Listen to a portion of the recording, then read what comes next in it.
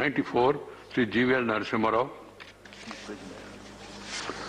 Thank you, sir. Question, you have to say question 95. Yeah. Um, question 94. Right, Sir, statement is laid on the table of the House. right. Supplementary, Narasimha Sir, the answer given by the Honorable Minister says uh, Tirupati was declared international airport on 12-6-2017, but till date not a single international flight either arrived or departed, dep- uh, left from there.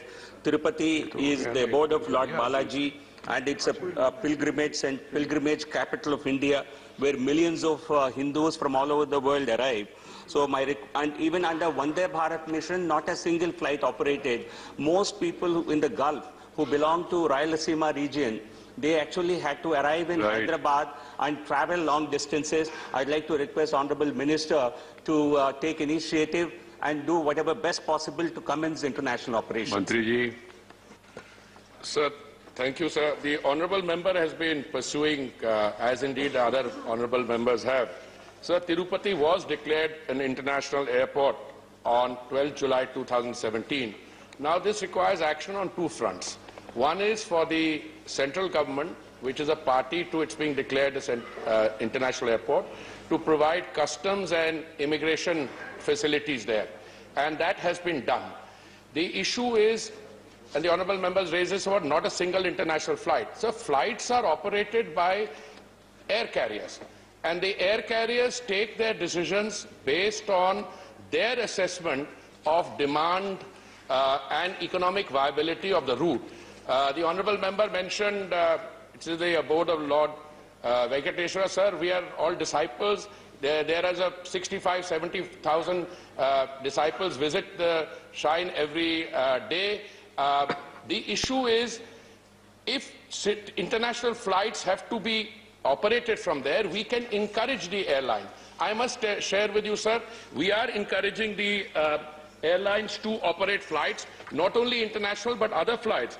Tirupati is connected to Kolhapur, Hubli, Belgaum, Right, right. Under the Udan scheme. And other than the one to uh, Kolhapur, all the other Udan schemes are operational.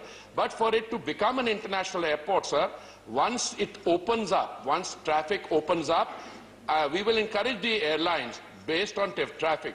Insofar as Vande Bharat is concerned, sir, Vande Bharat flights uh, are being carried out again to the major metropolises. right. Second supplementary. Sir, about a domestic air cargo terminal in Tirupati, that also is ready for operation. Um, I would request the Honorable Minister, he said security clearance is to be obtained. I've been pursuing with various uh, authorities. I would request an inter interministerial coordination to ensure that domestic freight operations begin at the earliest because that gives additional revenue to the airlines and allows passenger fares to go down. Also, runaway extension, by what date can it be completed? I'd like to know from the Right, Honorable Minister. Sir, uh, there are two parts. One is the uh, freight operations. There is work going on, and it is our expectation, not only in Tirupati, but airports all over the south, in Andhra, elsewhere also, we will try and expedite this, both from the point of view of completion of the infrastructure and for the required security clearances. So I'm uh, in touch with the honourable member on that. On the other issue which the honourable member has raised about uh, Cargo. Ka- No, extension of the runway. Sir, all airports in, uh, in Andhra, including Tirupati in particular, Tirupati just now can take flights of A320, but some land has to be made available, some of it has. Then we will extend the runway so that 777 and wide-bodied aircraft can also come. But I want to ensure the honourable member that this is being done in all the other airports in uh, uh, Andhra as well. Right.